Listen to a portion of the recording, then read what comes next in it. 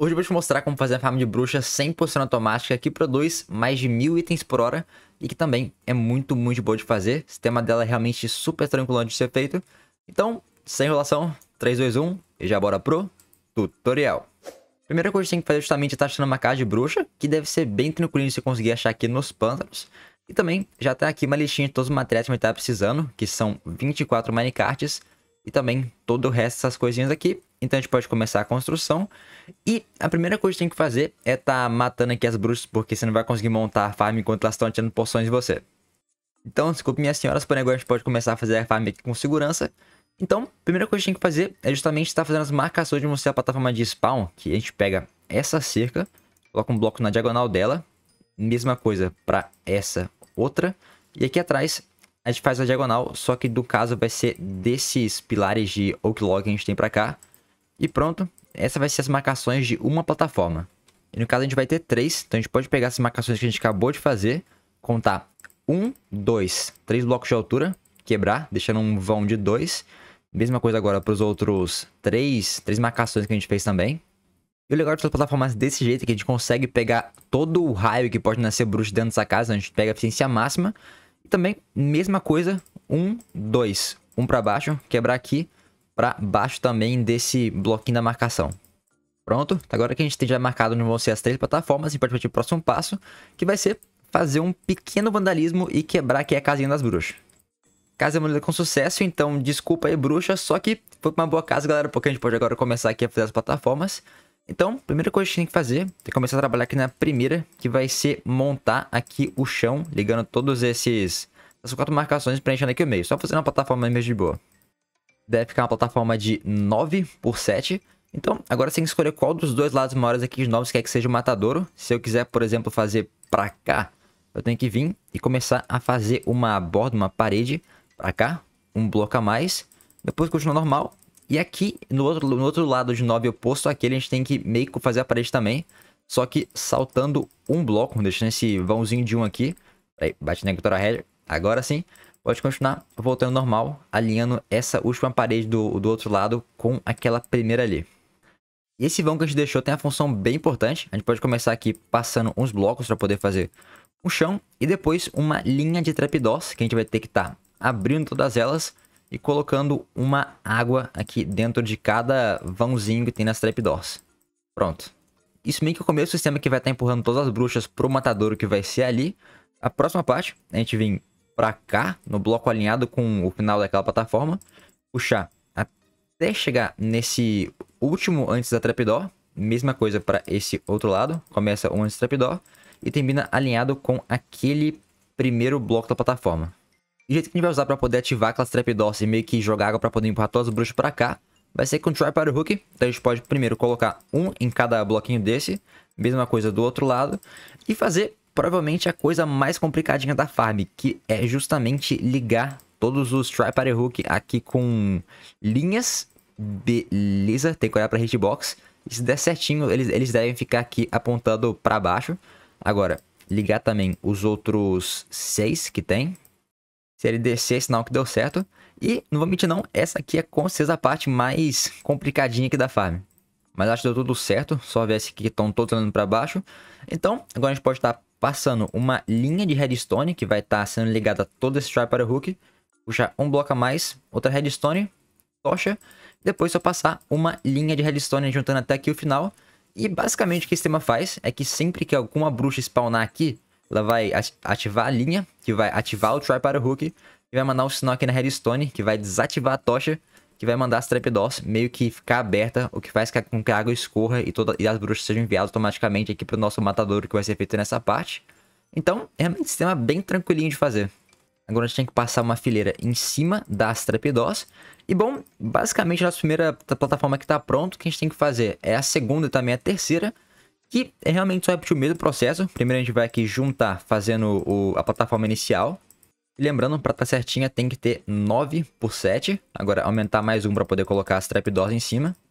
Fazer a parede, que é aqui, mais um bloco para frente, depois só tá contornando. Agora botar os alçapões, que vão ser abertos, e também colocar água dentro deles. E mais importante, essa outra linha para a gente poder colocar o Sharper Hook com o negócio complicado que é botar os fios. E assim que passar as fileiras de redstone, a plataforma já está pronta. E a terceira é só repetir o exato mesmo processo. E agora que as plataformas de spawn já estão prontas, a gente tem que fazer só arrumar aqui alguns detalhes. Que é, primeiro, conectar esses bloquinhos aqui todos. Mesma coisa para esse lado. E também impedir qualquer lugar que possa entrar luz ali na farm para poder não acabar impedindo que as bruxas nascem. Que vai ser esses aqui, que tem a redstone aberta. Aqui em cima a gente tem que resolver depois. Do outro lado, eu acho que também tem lugar para aqui o negócio aberto. Certinho? Então a gente também tem que estar tá tampando para poder ter certeza que nenhuma luz está entrando ali na farm.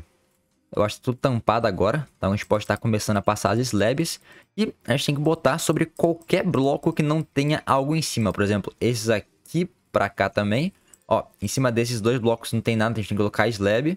Aqui... Tá, eu acho que todos eles já tem slab. Isso porque meio bloco impede qualquer mob nasce, então se a gente não colocasse, podia algum zumbi, creeper, escrito alguma parada nascer aqui, e meio que acabar diminuindo um pouco a eficiência da farm, que não é legal. Então, o que a gente tem que fazer agora é só resolver a maior parte, pode entrar na farm, que é justamente não colocar um teto aqui. Então a gente puxa, pode puxar um pra cima e depois colocar um teto aqui com slabs, cara. Porque mesma coisa, se a gente colocasse um bloco inteiro, poder nascer algum mob em cima do nosso teto, e atrapalhar bastante a eficiência da farm. Então, a gente pode primeiro juntar aqui tudo um slab. Depois vamos preencher esse miolo, que a gente vai ter nosso teto já pronto. E agora a parte que vai gerar as bruxas está completamente pronta. A gente tem que fazer só o matadouro. Que bom, como eu dei aqui um pouco de azar e meio que a casa de bruxa que eu achei tá no meio do, do lago aqui do pântano, eu vou ter um pouquinho mais trabalho que você provavelmente, que eu vou ter que estar, tá, primeiro, puxando aqui mais um bloco pra frente, mesma coisa para esse outro pilar, e também juntar esses dois novos pilares que a gente acabou de fazer, para poder colocar uma outra parede aqui na frente, também impedir que a luz entre. E uma coisa muito importante, deixar um bloco aqui de vão para gente poder trabalhar com isso que vai ser a parte do matador ali. Então agora é só puxar essa parede até o teto. Agora é só entrar para cá, tampar e pronto, parede concluída. Então, como eu dei um pouco de azar de ter a casa bruxa no meio do lago, vou ter que meio que tá secando toda essa água aqui para poder começar a trabalhar no, no sistema. Então, tá aqui. Então eu tenho que secar toda essa área mais dois blocos para baixo. Prontinho, esse é o espaço que eu tenho que estar tá tirando toda a água. Que eu vou só colocar aqui um pouquinho de bloco de areia e depois remover, que assim que eles forem tirados, não vai ter mais nenhuma água pra cá. Aquele truquezinho já bem antigo. Então se deu azar que nem eu encontrou uma caixa bruxa no meio do lago, você vai ter que fazer isso. Mas se deu sorte, você vai ter que só cavar um buraco de 2 profundidade nessa parte. Enfim, agora voltou tudo normal. Você vai ter que estar tá colocando uma água nesse bloco aqui do canto, outra nesse, que vai funilar todas as bruxas para esse bloco. Que a gente tem que estar tá agora botando uma placa para poder impedir que a água entre aqui. E bom, eu vou ter que secar mais esse tubinho aqui, só para garantir que as bruxas vão conseguir descer certinho. E agora descer 1, 2, 3, 4, 5, 6, 7 blocos, total com 9, já contando com esses dois que é areia. Então, a partir daqui, a gente tem que fazer uma coisa que fica mais realmente seu critério, porque vai ser a nossa salinha de estoque de também que vai estar tá matando as bruxas. Então, Realmente não tem nenhum tamanho fixo, só que eu indico 5 por 5 acho que é um tamanho já bem legal. Só que caso queira fazer 10 por 10 poder fazer uma decoração legal, realmente fica ao seu critério. No meu caso, acho que realmente só espaço tá bom. Agora, a gente pode cavar mais um para baixo, colocar um baú duplo e o funil, que esse vai ser o nosso sistema de estoque, beleza? O funil tá conectado certinho. Então, o que a gente vai estar tá fazendo agora vai ser estar tá usando aqueles manicates que tem uma função até que bem interessante, ó. A gente pode botar um trilho e botar exatamente 24 manicasts nesse trilho. 22, 23, 24. Isso porque existe uma coisa no Minecraft chamada Entity Cramming, que meio que é um limite de quantos mobs podem ter em um bloco só. E os carrinhos contam como um, uma entidade, eles são meio, meio que um mob.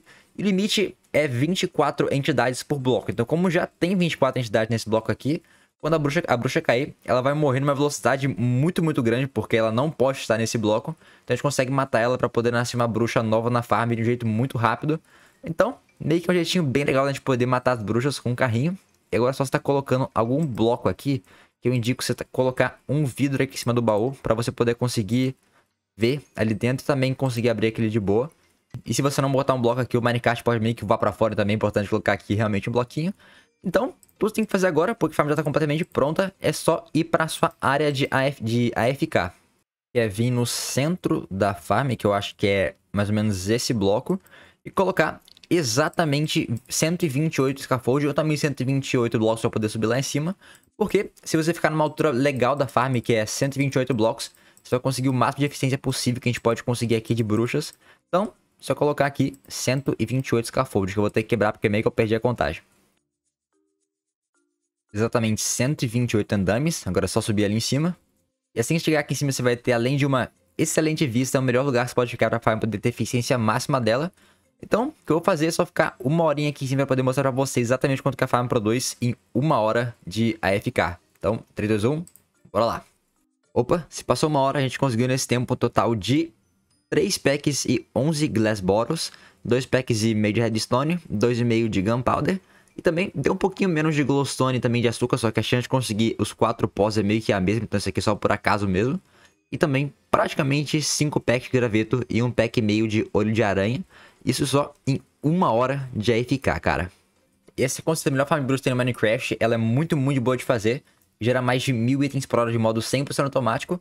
Então, eu espero muito ter gostado do vídeo de hoje. Se curtiu, lembrando que é importante demais inscrever no ativar o sininho, porque aqui sempre, terça-feira, 6 horas da tarde, mais 20 horas de mais criança aqui no canal. Eu também vou deixar na parte esquerda da tela, aqui no cantinho, mas um vídeo com mais 5 farms são tão boas, tão melhores que essa, vai gostar bastante da pastinha lá. Então, valeu, falou, te vejo no próximo vídeo e fui!